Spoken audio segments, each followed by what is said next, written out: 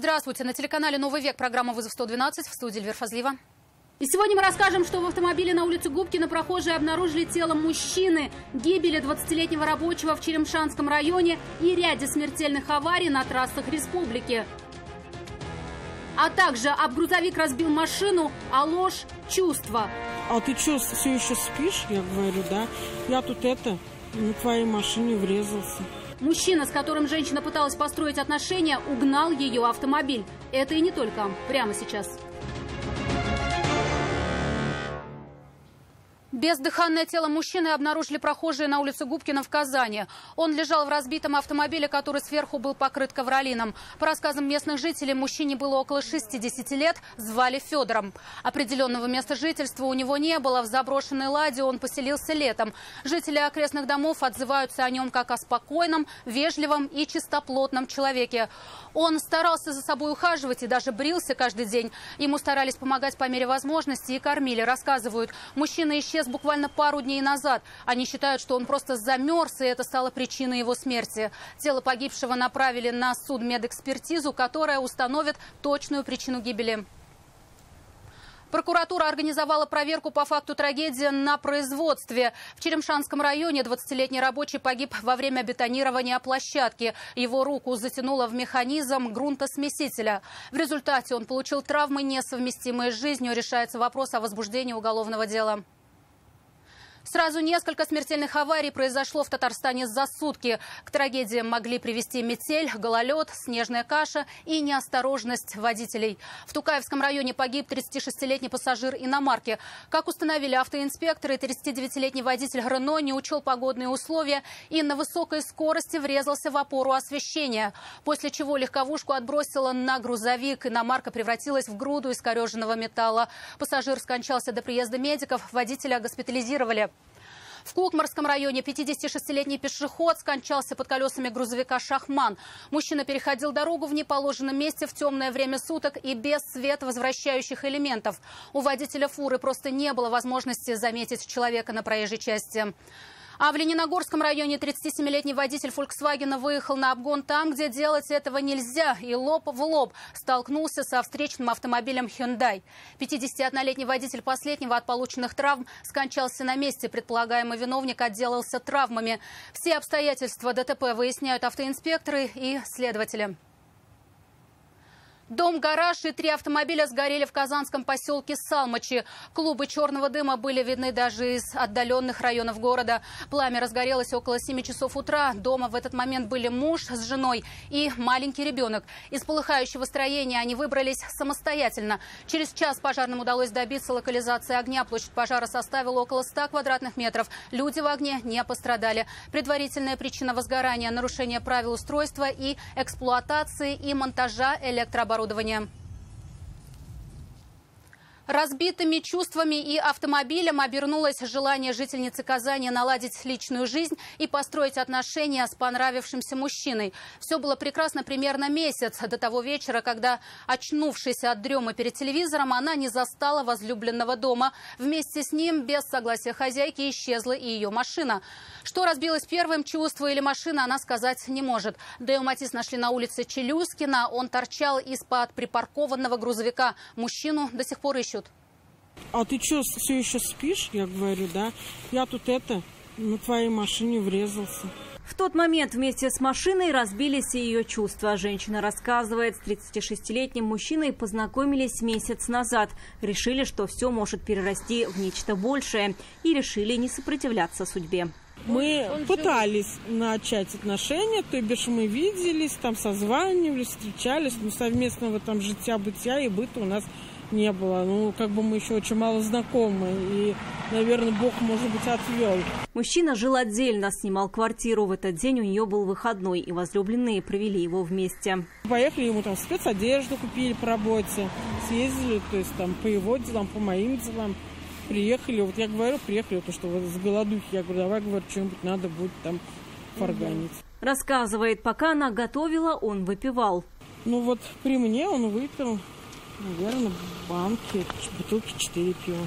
Она задремала перед телевизором и проснулась только от телефонного звонка с признанием об аварии. Причем, где находится разбитая машина, он сказал не сразу. Ну вот он мне, получается, не говорил, не говорил, не говорил. Я ему вот звонила, звонила, он скидывал, скидывал. Потом я говорю, Денис, говорю, либо ты сейчас говоришь, где ты, говорю, где у меня машина, либо говорю, я сейчас буду говорю, уже говорю, в милицию звонить. И вот он тогда сказал, что ближайшая заправка от твоего дома, машина там. Ну, то бишь он уже сказал, что машина тут. Значит, его же здесь уже не было на этот момент, когда он это говорил. В полицию она все же позвонила, когда увидела свой автомобиль и написала заявление об угоне. Рассказала, что знала о человеке, с кем пыталась построить отношения. Оказалось, знает не все. И то это все же всего слов. То есть, как выяснилось, он, оказывается, вот был судимый, а я не знала об этом.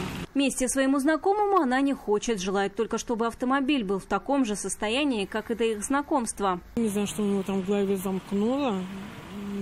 На данный момент я не знаю, как там что будет, до чего это все дойдет. Мне надо, чтобы моя машина была восстановлена и на ходу. Даже если они придут к согласию и примирению, претензий к мужчине у женщины не будет, то ему все равно придется ответить как минимум за езду без полиса ОСАГО и оставление места ДТП. Вероника Гайнудинова, Дарья Кореева, вызов 112. Признаки наркотического опьянения обнаружили автоинспекторы у 29-летнего водителя «Лады» 14 модели, остановленной для проверки документов на улице Пушкина в Казани.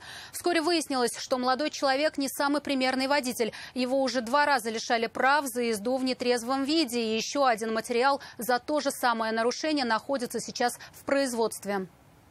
14 машина, как любит же, вечером что катаешься, людям нервы потрепать. Он считал, что это просто желание потрепать ему нервы у автоинспекторов. Основания отстранить его от управления автомобилем были весомее. Заподозрили, что в таком состоянии водить нельзя. С признаками наркотического опьянения. Когда предлагали ему пройти экспресс-тест на наличие спиртного в организме, понимали, что алкотестер покажет ноль. Но такова процедура перед медицинским освидетельствованием. После этого водителю предложили проехать в больницу. Там возможно выявить наличие в организме не только алкоголя, но и запрещенных веществ. На освидетельствование состояния опьянения. Согласны? Да. Проехать тоже согласен. Мужчина рассказал, скрывать ему нечего и готов сдать анализы, как делал это уже не раз. Водительских прав за вождение в нетрезвом виде его уже лишали. Ну, за алкоголь было один раз. Два, два раза. А, два раза? Ну, да. Срок лишения закончился в этом году. Права восстановил, но в начале октября у него вновь обнаружили признаки опьянения и направили на освидетельствование. Ну, также вот продувал просто. По нулям показал? Да. Ну, там 0,9 промилей, сказал 0,09 точнее. Административное дело по тому случаю все еще находится в производстве. И если в этот раз исследование обнаружит наличие запрещенных веществ, то мужчине будет грозить уже уголовная ответственность за повторное вождение в нетрезвом виде. Результаты приходят через несколько дней после сдачи анализов. Алия Хайрудинова, Дарья Кореева, вызов 112. Завтра в Казани завершается второй этап всероссийской акции «Сообщи, где торгуют смертью». Она стартовала 16 октября. Все это время правоохранители получали от жителей информацию о фактах оборота наркотиков и проводили профилактические мероприятия. Сегодня они посетили студентов одного из институтов. Совместно с ними они раздавали прохожим листовки с номерами доверия и информацией об акции. Таким образом, они привлекали внимание к проблемам незаконного оборота запрещенных веществ и их немедицинского потребления. Хочу, чтобы граждане Казани поддержали эту акцию во благо будущего наших детей. Цель акции – привлечь общественность к участию в противодействии незаконному обороту наркотиков. Поэтому, если вы владеете какой-либо информацией, связанной с наркотиками, просим вас сообщить на телефон доверия 291 2002. Звонок анонимный.